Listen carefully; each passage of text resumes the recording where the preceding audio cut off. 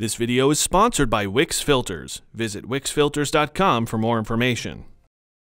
Hey everyone, I'm Jason Morgan, editor of Fleet Equipment, and this is Fleet Equipment's On the Road.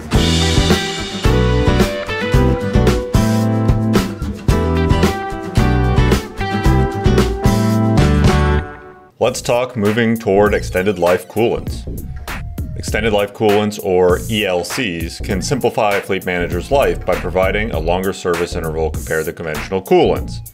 When transitioning from a conventional coolant to an ELC, you need to be aware of the conversion practices and ensure that you inspect and tighten the system as you go through the process. When it comes to the drain, flush, fill process, be aware that conventional coolants have the ability to mask leaks in the system due to silicates that build up over time.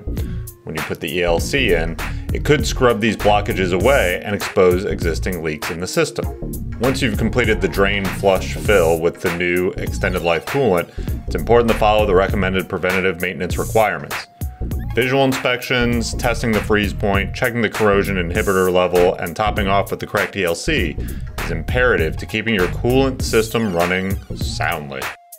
For more in-depth truck equipment content, head over to fleetequipmentmag.com. Thanks for watching.